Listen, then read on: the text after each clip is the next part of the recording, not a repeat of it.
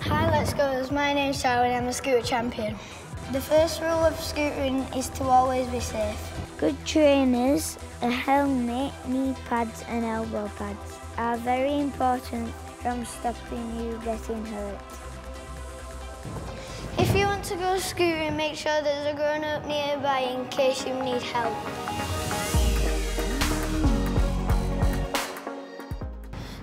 Riders get in the air by ramps or bunny hopping.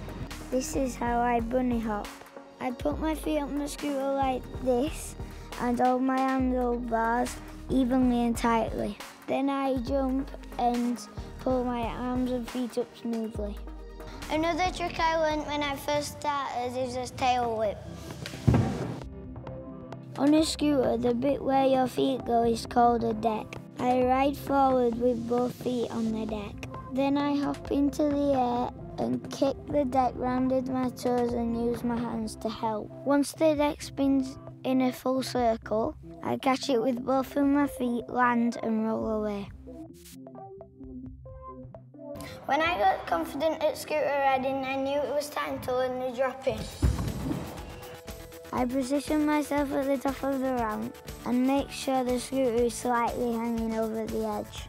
I put my feet so that one foot is on the scooter. When I'm ready, I lean my body forward and push.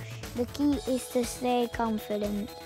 The most important thing about scootering is to have fun.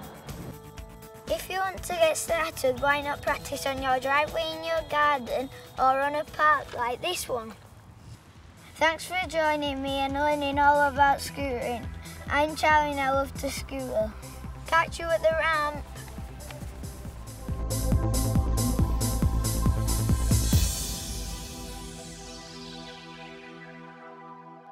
For more Let's Go Club fun, click here or subscribe below.